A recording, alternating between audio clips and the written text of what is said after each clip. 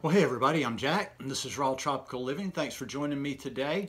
Hope everybody's doing well out there. By the time you're watching this, only got one more day, and then it's off to the weekend. Um, I know what I'm going to do this weekend. I'm not going to Pensacola. I'm going to probably just get some work done. If the weather's nice, might do some tie-dye. Uh, but today I want to talk about, because I keep getting asked, why don't I eat a 100% raw food diet?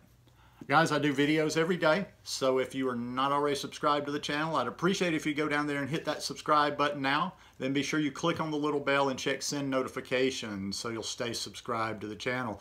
Also got one of a, a new shirt on today. I like to try out different colors. I wear a lot of my gear. Uh, just actually came in the mail um, about 15 minutes before I made this one. I have it in white, but I like it really a lot in the darker colors.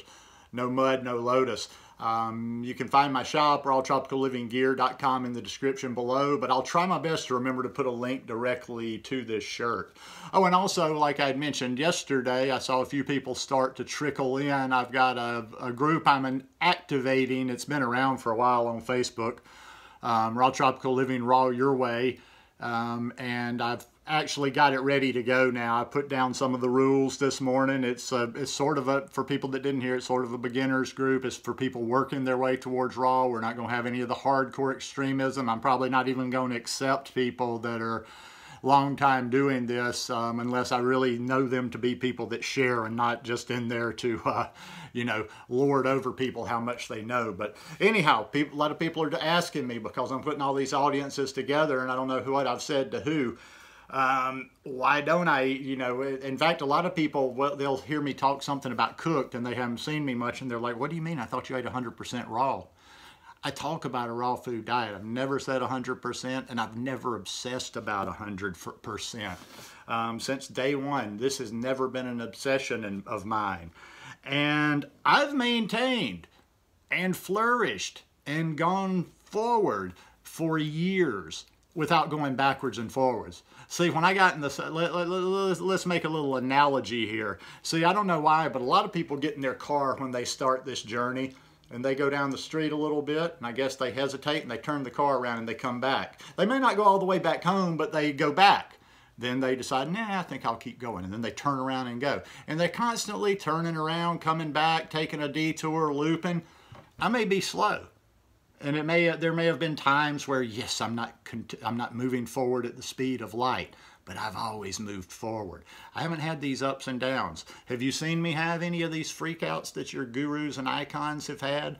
In fact in seven, almost seven years where are some of them now? We've watched them drop by like flies you know um, and a lot of the people, I'm going to be honest with you, a lot of the people you people follow, and not everybody, not everybody. There's some, there's some uh, great examples out there, but a lot of the biggest ones out there are a horrible example of this lifestyle. Now, once again, I mentioned this in a video the other day. I'm not throwing any shade at anybody that does a 100% raw food diet.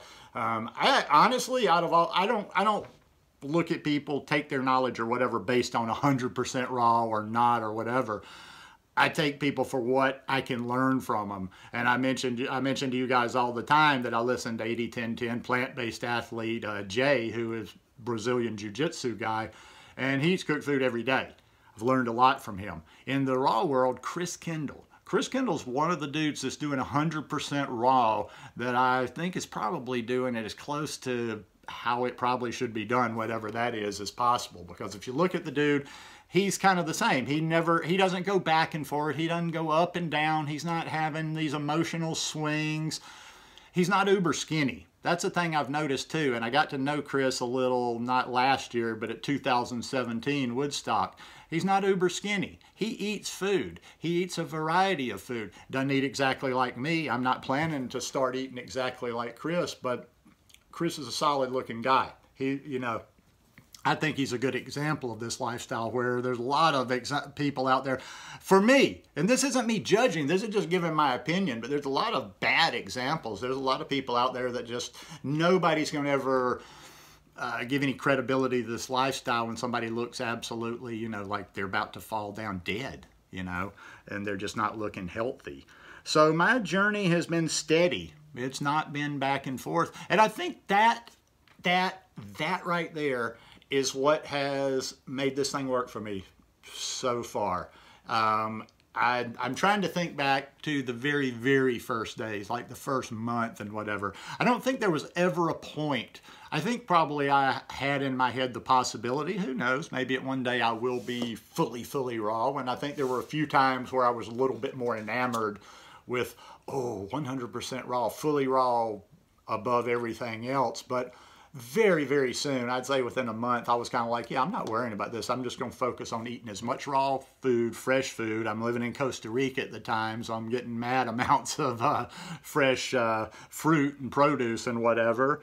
Um, and I never tried to resist. That's the thing, too. What we resist persists. I never resisted when I wanted, I mean, I, I well, that's not really resistance because my mind had shifted. I was going to say I never really resisted eating any cooked food after I became vegan, after I became raw. But that's not exactly true. Um, yes, I resisted stuff like eating, going to my pizza stand and getting a slice of pizza like I used to. I resisted going over to the sports bar and getting wings or eat, going to my buddy's place and eating ribs.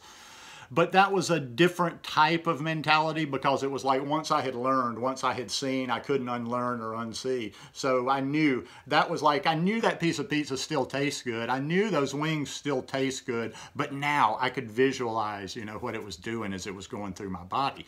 But things like potatoes and vegetables and other things like that, I didn't look at, I never looked at that as a failure. I was never, oh my God, okay. Or I was never like trying to hang on and then, okay, I got to eat some cooked food tonight. I was like, okay, if I feel like eating some cooked food, I eat cooked food.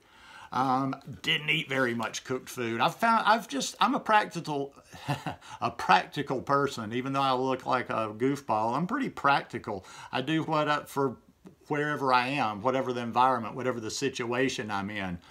Now, when I went raw, I was in the city. Shortly after, I go to go to the beach. I moved back to the beach and lived there for the next three years or so. For the next three years, I ate very, very, very, very minimum, minimum uh, cooked food uh, simply because it was hot at the beach. I had fruit everywhere. You didn't want to heat up your house. You didn't want to heat up your body by eating it. I mean, I'm talking about uh, the summers down there, which are the winters here in North America. Brutal, brutal, brutal.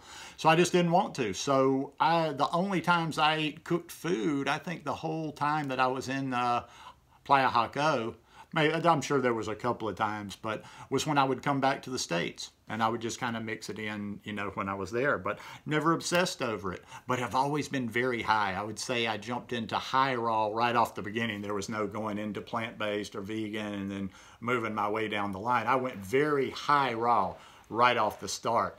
Um, even to this day, anytime uh, back from the beginning to this day forward, when I talk about eating cooked food, it's not like to either that I have a day like, okay, today's going to be a cooked day and I just like do what like people like to call a cheat day and just eat a whole bunch of cooked food.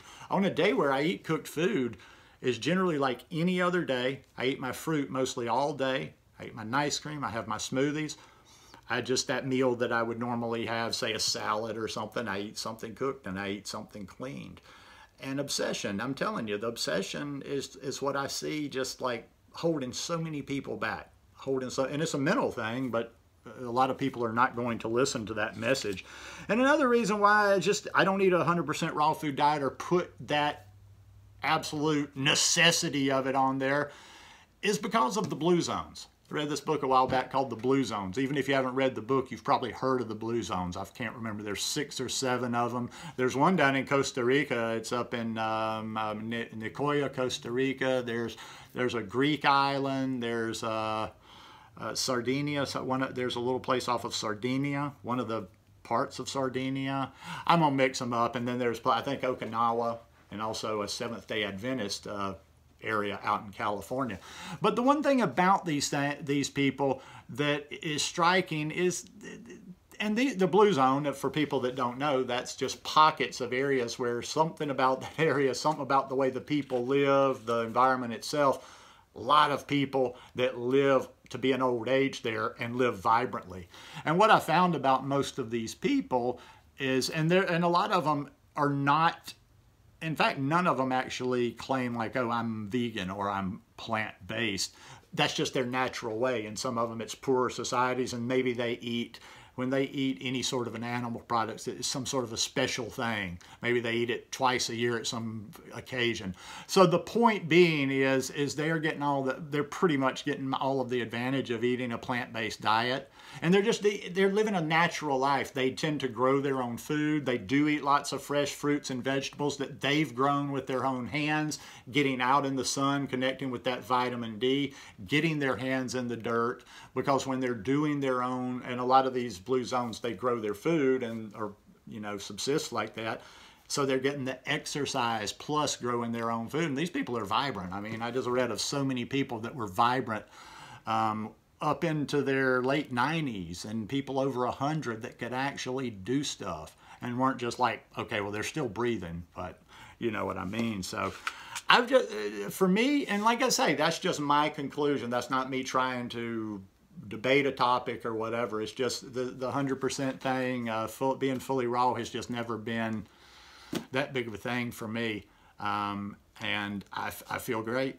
I mean, you know, I don't know. Like I've said before, the only thing that could probably push me, but then I'd have to think like, okay, why did I get sick in the first place? If I had some real illness uh, that I needed to heal, I probably would go higher with the raw. Um, you know, maybe even do some fasting. But as far as um, uh, you know, needing to be 100% all the time, I don't think that's ever going to be a focus of mine. Like I say, I never say never, but I just don't, uh, that's just not something I focus on. So anyhow, hope you guys enjoyed this one today. If you like it, please give me a thumbs up and I'll see you guys tomorrow. Peace.